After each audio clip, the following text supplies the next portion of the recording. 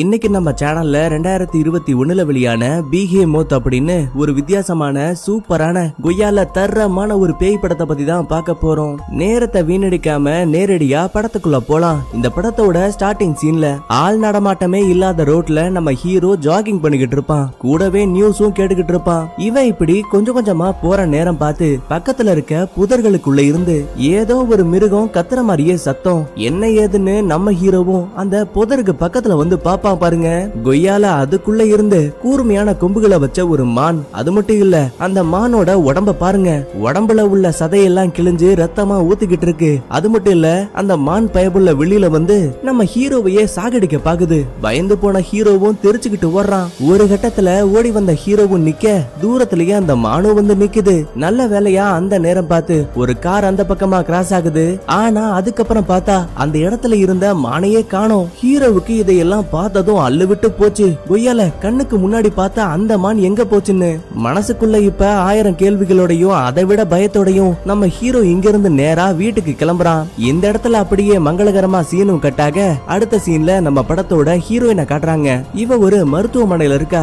ஏண்டான்னு பார்த்தா நம்ம ஹீரோவோட பொண்ணுக்கு உடல் ரீதியா ஏதோ ஒரு பிரச்சனை. சிட்டிக்குள்ள இருக்க பெரிய டாக்டர் எல்லாம் பாத்திருக்காங்க ஆனா அவங்களாலேயே நம்ம ஹீரோவோட பொண்ணு உடம்புக்குள்ள இருக்க பிரச்சனைய சரியா கண்டுபிடிக்கவே முடியல. ஏற்கனவே இந்த குட்டி பொண்ணுக்கு உடம்புல இருக்க கிட்னி ஃபெயிலியர் ஆயிடுச்சு. இப்ப ஒவ்வொரு பாகமா அதே மாதிரியே ஃபெயிலியர் ஆயிட்டே இருக்கு. அங்க இருக்க ஹீரோயினும் ஹீரோவுக்கு கால் பண்ணி பாக்குறாங்க. ஆனா நம்ம ஹீரோ அந்த கால் மெசேஜ் எதையும் எடுக்கவே மாட்டேங்கிறான். உண்மைய சொல்ல போனா ஹீரோ தன்னோட பொண்ணு இருக்க ரூமுக்கு பக்கத்திலேயே தான் நிக்கிறான். ஆனா தான் பெத்த பொண்ணு படுத்த படுக்கையா இன்னும் கொஞ்ச நாள்ல சாக போறாளே அப்படிங்கிற வேதனைய கண்ணுக்கு நேரா பார்க்க தைரியம் இல்லாம அந்த இடத்தை விட்டு மறுபடியும் இவனோட ஃப்ரெண்ட் இருப்பான். அவனை பாக்குறதுக்காக கிளம்பிடுவான். இப்ப ஹீரோ ஹீரோவோட ஃப்ரெண்ட் இருக்கால அவனை நம்ம ஃப்ரெண்டு அப்படின்னே மைண்ட்ல வச்சுக்கலாம். இவனுக்கு ஒரு கேர்ள் ஃப்ரெண்ட் இருப்பா அவளோட பேரு ரோசி. வந்த ஹீரோவும் ஃப்ரெண்டு ஆபீஸ்லயே உட்காந்து ஒரு சில வேலையெல்லாம் பாக்குறான். கூட இருக்க ரோசிய பாருங்க நம்ம ஹீரோ கிட்ட கொஞ்சம் க்ளோஸா இருக்க பாக்குறா. இந்த விஷயத்த ஹீரோவோட ஃப்ரெண்டு பார்த்தாலும் கூட பெருசா கண்டுக்கவே இல்ல. ஏன்னா நம்ம ஹீரோ மேல அளவு கடந்த நம்பிக்கை. கொஞ்ச நேரத்துக்கு அப்புறமா ஹீரோவோட ஃப்ரெண்டு அப்புறம் அந்த ரோசி. இவங்க ரெண்டு பேருமே கிளம்பிடுவாங்க. உள்ள இருக்க ஹீரோவும் கம்ப்யூட்டர்ல டி பாயிண்ட் அப்படின்னு ஒரு கம்பெனி அத பத்தி செக் பண்ணி பாக்குறான். இப்பதான் ஒரு விஷயமே தெரியுது. நம்ம ஹீரோ டி பாயிண்ட் அப்படின்னு ஒரு கம்பெனில வேலை பார்த்திருப்பான். ஆனா கடந்த மூணு மாசத்துக்கு முன்னாடி தான் வேலையை விட்டே தூக்கிருப்பாங்க அது மட்டும் இல்ல அந்த டி பாயிண்ட் அப்படிங்கிற கம்பெனிக்குள்ள இருந்து அந்த கம்பெனியோட ரசாயன கழிவு இருக்குல்ல அது அப்படியே கடல்ல கலக்க அது மூலமா நம்ம ஹீரோவோட பொண்ணு அப்புறம் இந்த சிட்டிக்குள்ள இருக்க குட்டி குட்டி பசங்க இவங்க எல்லாருக்குமே உடம்புல எக்கச்சக்கமான பிரச்சனை. இந்த விஷயத்த பத்தி நம்ம ஹீரோவுக்கு நல்லா தெரியும். ஏன்னா இவன் அந்த கம்பெனில கொஞ்ச நாள் வேலை பார்த்திருக்கான்ல. எப்படியாச்சும் இந்த கம்பெனியை மூடியே ஆகணும்னு நம்ம ஹீரோ மாதிரியே நிறைய பேரு அந்த கம்பெனிக்கு எதிரா போராட்டமே பண்ணுவாங்க. இந்த நியூஸ் எல்லாத்தையுமே படிக்கிற நேரம் பார்த்து நம்ம ஹீரோயின் கால் பண்ணிக்கிட்டே இருக்கா. ஆனா அந்த காலை கூட எடுக்கவே இல்ல. கூடவே அங்க இருக்க ஜிம்னாட்டிக் ரூமுக்குள்ள இருந்து டம்மு டம்முன்னு சத்தம். இந்த சவுண்ட கேக்குற நம்ம ஹீரோவும் சரி ஓகே ஃப்ரெண்டு தான் திரும்ப வந்துட்டான் போலன்னு அந்த ரூமுக்குள்ள வந்து பார்த்தா அங்க யாருமே இல்ல. அப்புறம் எப்படி சவுண்ட் வந்துச்சுன்னு நம்ம ஹீரோ மண்டையை போட்டு பிச்சுக்கிட்டு இருப்பான். அப்போன்னு பார்த்து முன்னாடி இருக்க சாதாரண கயிறு அதுவே ஒரு தூக்கு கயிறா மாறி நம்ம ஹீரோவுக்கு முன்னாடியே தொங்கும். இது எல்லாத்தையுமே பார்த்து மிரண்டு போன ஹீரோவும் அந்த இடத்தை விட்டு தெரிச்சுக்கிட்டு ஓடுறான். ஆனா ஹீரோ அந்த ஆபீஸ விட்டு வெளியே போன அடுத்த நிமிஷமே அங்க இருக்க லெமனே பட்டு போயிடும். ஆனா இந்த விஷயத்த நம்ம ஹீரோ பெருசாவே கண்டுக்கல. ஏன்னா தான் பொண்ணு படுத்த படுக்கையா இருக்காளேன்னு நம்ம ஹீரோ சரியா தூங்க கூட மாட்டான். அதனாலயே நம்ம ஹீரோவுக்கு மன ரீதியான நிறைய பிரச்சனை எல்லாம் இருக்கு. இப்ப உங்களுக்கு புரியுதா? ஏன்டா நம்ம ஹீரோ நடக்கிற எதையுமே பெருசா கண்டுக்கலன்னு வெளியே வந்த ஹீரோவும் ட்ரெயின்ல போயிட்டு இருப்பான் அப்ப பாருங்க அவனுக்கு முன்னாடி உட்கார்ந்திருக்க ஆள் மூஞ்சு கூட பாக்குறதுக்கு கொடூரமாவே தெரியுது. பயந்து போன ஹீரோ மறுபடியும் வீட்டுக்கு வரான். வந்து பார்த்தா ஹீரோயின் நிக்கிறா. பொண்ணுக்கு என்னாச்சு? உடம்பு பரவாயில்லையா? இப்ப நல்லா இருக்காளான்னு கேட்க ஹீரோயின் பதிலே சொல்லாம அந்த இடத்தை விட்டே போயிடுவா. ஏன்னா நம்ம ஹீரோ தான் பொண்ணை பார்த்தே சில பல மாசம் ஆயிடுச்சு. சொல்ல போனா அந்த டி பாயிண்ட் அப்படிங்கிற கம்பெனிக்கு சீல் வச்சே ஆகணும்னு நம்ம ஹீரோ மும்மரமா சுத்திக்கிட்டு இருக்கான். அடுத்த கொஞ்ச நேரம் கழிச்சு தான் பொண்ணை பாத்துக்கணும்னு ஹீரோயினும் இங்க இருந்து மருத்துவமனைக்கு கிளம்பிடுவாங்க. அதுக்கப்புறமா ஹீரோவும் வழக்கம் போல ஜாகிங் போயிடுவான். இவன் வெளியில வந்த அடுத்த நிமிஷமே இதுக்கு முன்னாடி சீன்ல பார்த்தோம்ல கொடூரமான கொம்பு வச்ச மானு. அந்த மான் இப்ப மறுபடியும் நம்ம ஹீரோவுக்கு முன்னாடி வந்து பயமுறுத்த அவ்வளவுதான் திருச்சுக்கிட்டு வீட்டுக்கே ஓடி வந்துருவான். இங்க சீன் கட்டாக அடுத்த சீன்லயே நம்ம ஹீரோ ஒரு கம்பெனிக்கு முன்னாடி வந்து நிக்கிறான். என்னடான்னு பார்த்தா அந்த டி பாயிண்ட் அப்படின்னு ஒரு கம்பெனியை சொன்னோம்ல அந்த கம்பெனியை சேர்ந்த மிகப்பெரிய விஞ்ஞானி அவன் ஒரு மீட்டிங்காக இங்க வந்திருப்பான். இருப்பான் அந்த ஆளை புடிச்சு கேள்வி கேட்கலாம் தான் நம்ம ஹீரோ ஹீரோவோட ஃப்ரெண்டு அப்புறம் அந்த ரோசி இவங்கள மாதிரியே பாதிக்கப்பட்ட நிறைய பேரு கம்பெனிக்கு முன்னாடி போர்டை எல்லாம் வச்சுக்கிட்டு யோ என்னைய ஆராய்ச்சி பண்றீங்க? ரசாயன கழிவால என் குழந்தைங்க எல்லாம் பாதிக்கப்பட்டிருக்காங்க. இது எல்லாத்துக்குமே நீங்க தான்டா காரணம். பதில் சொல்லுங்க சொல்லுங்கன்னு கத்த விஞ்ஞானியும் இது எல்லாத்தையுமே பாக்குறான். ஆனா பதிலே பேசாம கூட வந்த பாடிகார்ட் கூட நேரா கம்பெனிக்குள்ளேயே போயிடுவான். அடுத்த கொஞ்ச நேரம் கழிச்சு நம்ம ஹீரோ ஹீரோவோட ஃப்ரெண்டு அப்புறம் அந்த ரோசி கம்பெனியோட பின் பக்க வாசல் கிட்ட நிக்கிறாங்க. என்னடான்னு பார்த்தா உள்ள போனானுங்கல்ல அந்த விஞ்ஞானி பாடி கார்டு அவங்க ரெண்டு பேருமே முன்வாசல் வழியா வந்தா அவங்களுக்கு பிரச்சனை வரதுக்கான வாய்ப்பு இருக்கு. சோ கண்டிப்பா அவங்க பின்வாசல் வழியா தானே வரணும். அதுக்காக தான் நம்ம ஹீரோ பின்னாடி வந்து நிக்கிறான். நினைச்ச மாதிரியே விஞ்ஞானியும் பாடிகார்டும் அங்க வர மூணு பேரும் மல்லுக்கு நிக்கிறாங்க. டேய் சொல்லு என் பொண்ணுக்கு என்னடா பண்ணீங்க?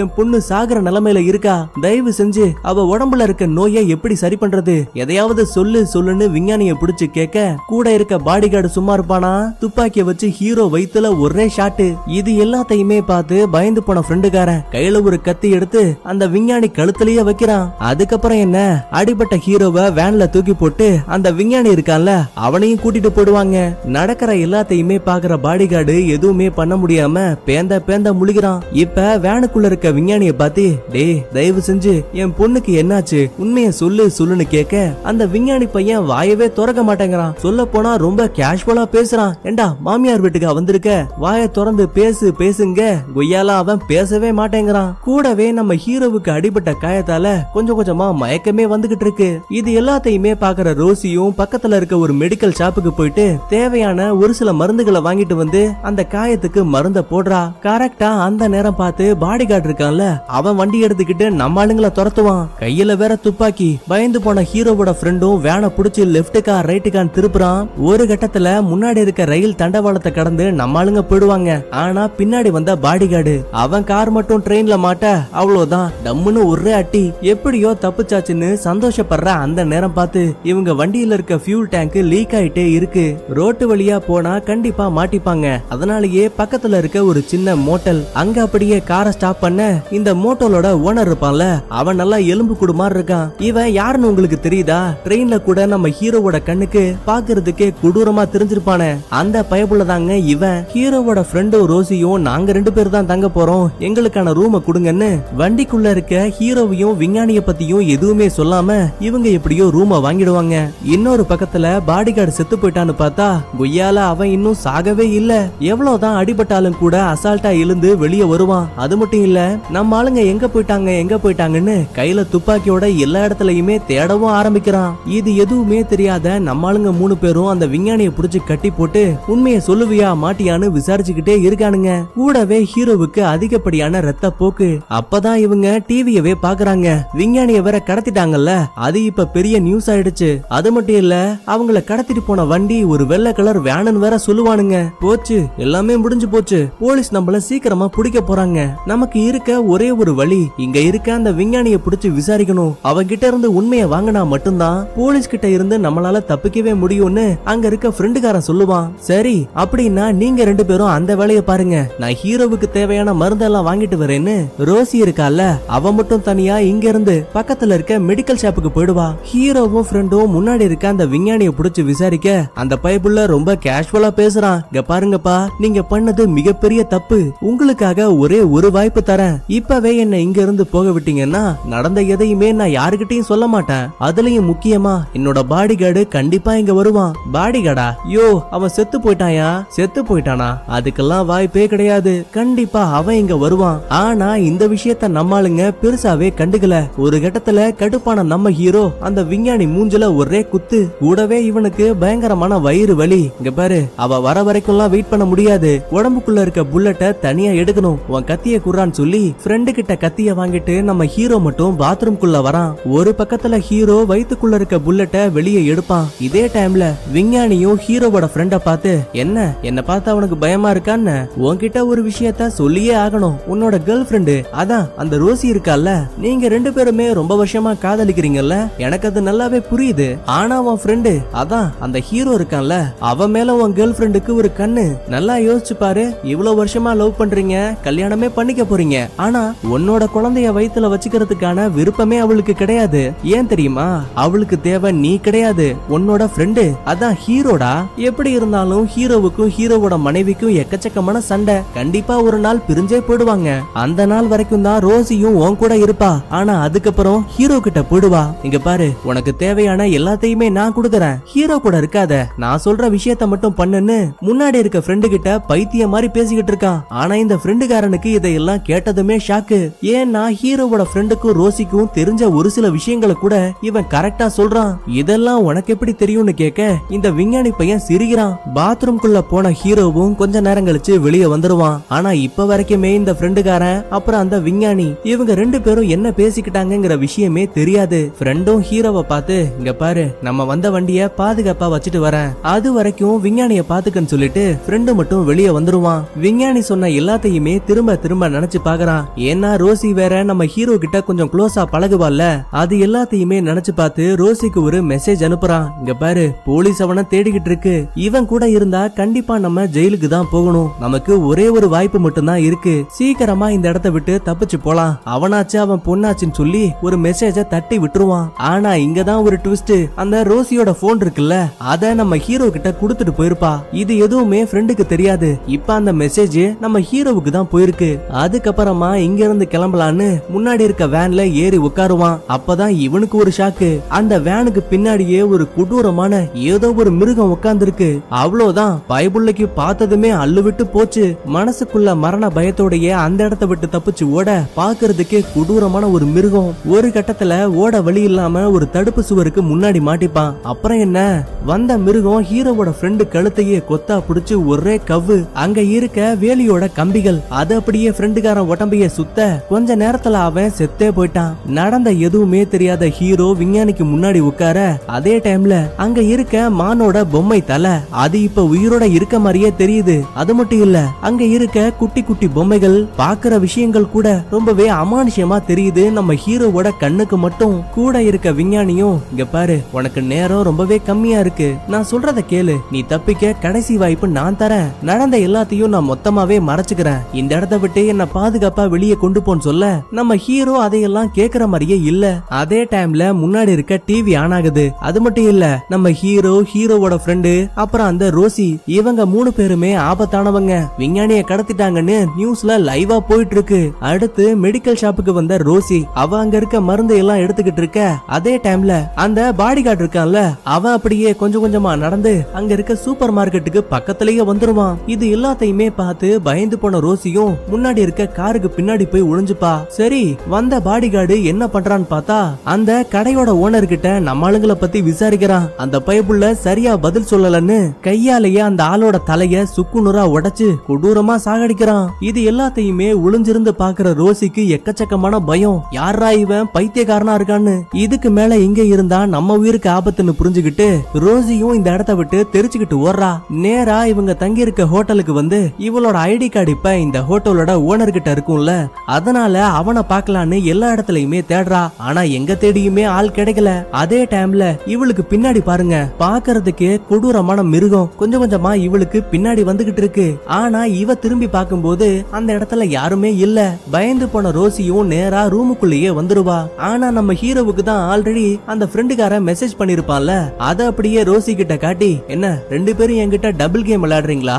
ரோசிக்கு மெசேஜ பார்த்ததுமே எக்கச்சக்கமான குழப்பம். கண்டிப்பா அவன் நம்மள விட்டு போயிருக்கவே மாட்டான். இங்க பாரு ஏதோ ஒண்ணு தப்பா இருக்கு. சீக்கிரமா உன் ஃப்ரெண்ட தேடி வெளியில போ. நான் இந்த விஞ்ஞானிய பாத்துக்கிறேன்னு சொல்லி கையில ஒரு கத்தி எடுத்து விஞ்ஞானி தோள்பட்டையில ஒரே குத்து. இது எல்லாத்தையுமே பாக்குற ஹீரோவுக்கு இப்பதான் ரோசி மேல நம்பிக்கையே வருது. அதுக்கப்புறமா ஃப்ரெண்டுக்கு என்னாச்சுன்னு பாக்க நம்ம ஹீரோ மட்டும் அந்த ரூமை விட்டே வெளியே வந்துருவான். அப்ப பாருங்க பக்கத்துல இருக்க ஒரு பழைய ரூம் அந்த ரூமுக்குள்ள இருந்து யாரோ பயங்கரமா கத்துற மாதிரியே சத்தம். அது மட்டும் இல்ல அந்த ரூமே தீப்பிடிச்சு எரிஞ்சுகிட்டு இருக்கு. நடக்கிற எதுவுமே நம்ம ஹீரோவுக்கு புரியவே இல்ல. கண்டிப்பா இதுவும் கற்பனையா தான் இருக்கும்னு சொல்லி தொலைஞ்சு போன ஹீரோவோட ஃப்ரெண்ட தேடி அந்த ஹோட்டல்ல எல்லா இடத்துலயுமே சுத்துறான். இப்ப ரூமுக்குள்ள இருக்க அந்த விஞ்ஞானி நம்ம ஹீரோவோட ஃப்ரெண்டு கிட்ட எப்படி எல்லாம் பேசினானோ அதே மாதிரியே முன்னாடி இருக்க ரோசிய பார்த்து என்னம்மா அடிப்பட்ட ஹீரோவுக்கு மருந்தெல்லாம் வாங்கிட்டு வந்திருக்க போல ஆனா உன்கிட்ட காசு இல்லல்ல? அது எனக்கு நல்லாவே தெரியும். உனக்கு நான் ஒரு நல்ல ஆஃபர் தரேன். அஞ்சு மில்லியன் டாலர் உன்னோட அக்கவுண்ட்டுக்கு ரெண்டே நிமிஷத்துல நான் அனுப்புறேன். ஆனா அதுக்கு பதிலா நீ ஒன்னே ஒன்னு பண்ணா மட்டும் போதும். என்ன இந்த இடத்த விட்டு பாதுகாப்பா அனுப்பு? இங்க பாரு அந்த ஹீரோவுக்கு உன் மேல காதலே கிடையாது. என்ன ஆனாலும் சரி அவன் கண்டிப்பா அவன் பொண்டாட்டிய விட்டு வரவே மாட்டான். எனக்கு எல்லாமே தெரியும். நீயும் அவனை ஒன் சைடா காதலிக்கிறல்ல?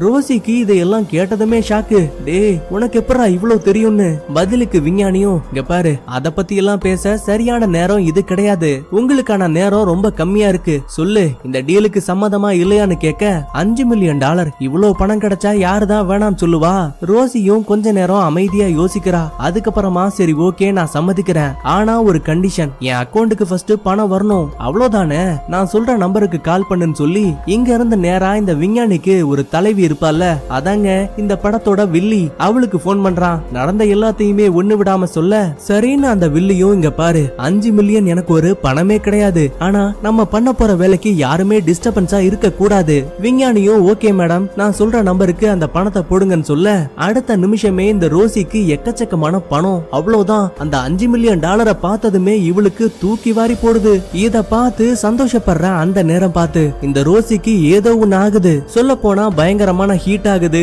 உடம்பே வேத்து ஊத்துது. ஹீரோவுக்கு எப்படி பாக்குற இடங்கள் பொம்மைகள்லாம் அசைற மாதிரி இருக்கோ அதே மாதிரியே இப்ப இந்த ரோசிக்கும் பாக்குற எல்லாமே வித்தியாசமா தெரியுது. எனக்கு என்னாச்சு? நீ என்ன என்ன பண்ணன்னு விஞ்ஞானிய பார்த்து பயங்கரமா கத்துறா. அந்த பயபுள்ள பதிலே பேசாம பல்ல காட்டி சிரிச்சுக்கிட்டே இருப்பான். பயந்து போன ரோசியும் பாத்ரூம்குள்ள வந்து கதவையே மூடிப்பா. அப்போன்னு பார்த்து முன்னாடி இருக்க கண்ணாடியவே உடைச்சுக்கிட்டு அந்த கொடூரமான மிருகம் வருது.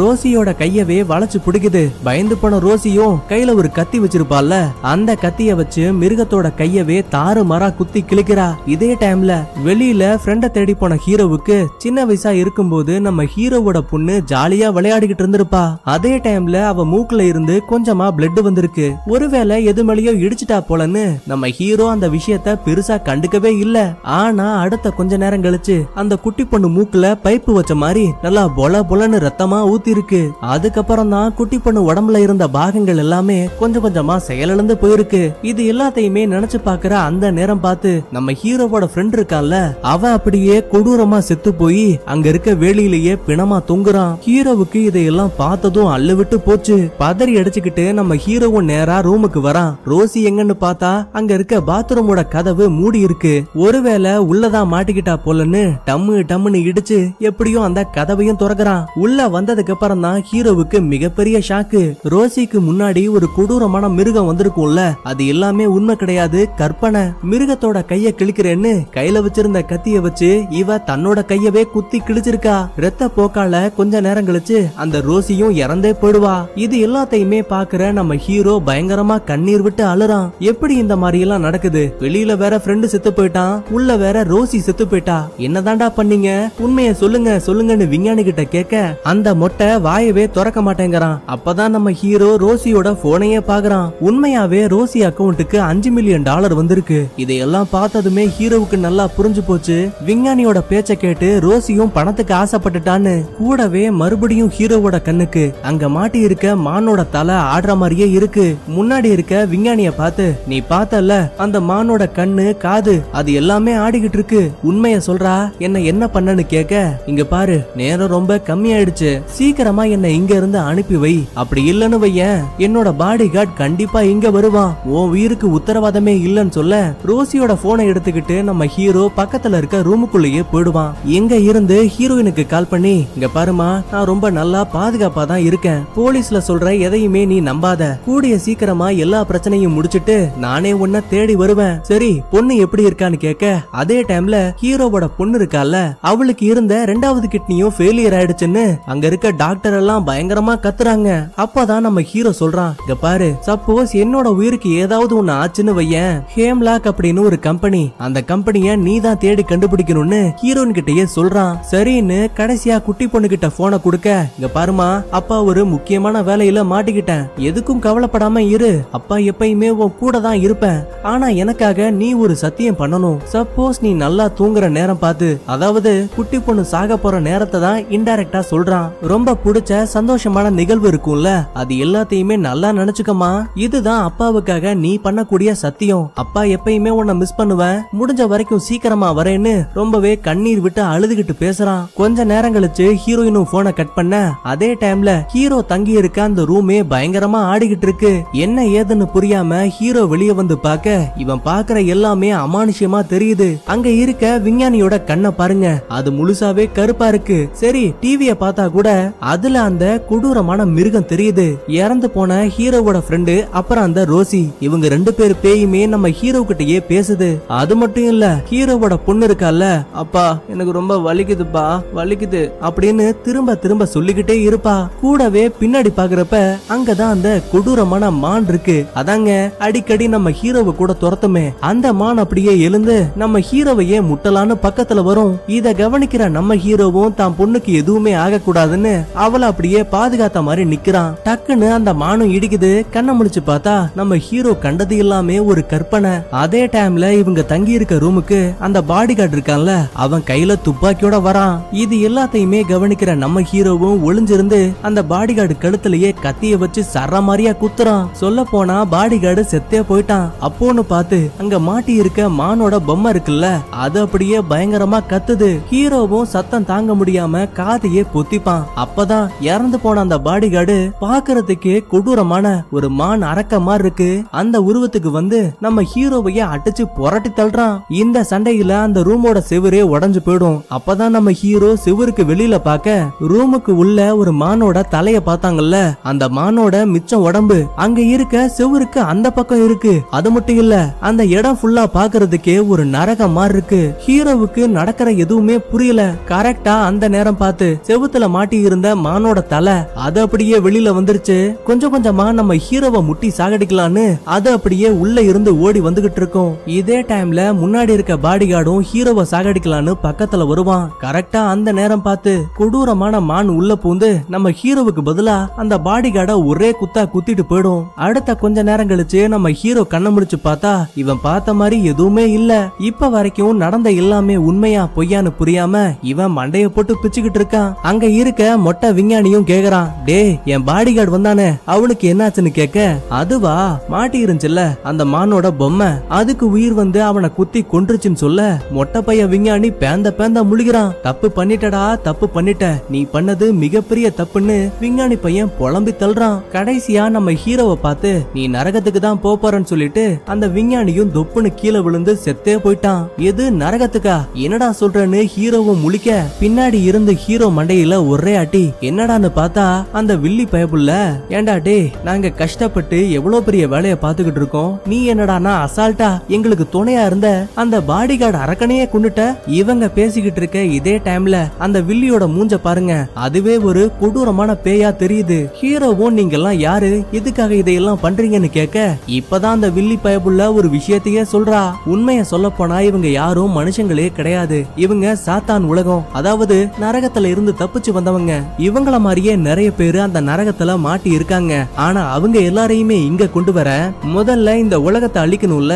அதை இவங்களுக்கு ஏத்த இடமா மாத்தணும். அதுக்காக தான் வேணும்னே திட்டம் போட்டு இவங்க ஒரு கம்பெனியை உருவாக்குறாங்க. அது மூலமா நச்சு பொருளை வெளியேத்தி இருக்கிற சின்ன குழந்தைகளை மட்டும் சீக்கிரமா சாகடிக்கிறாங்க. அது ஏன்டா சின்ன குழந்தைகளை மட்டும் சாகடிக்கிறாங்க?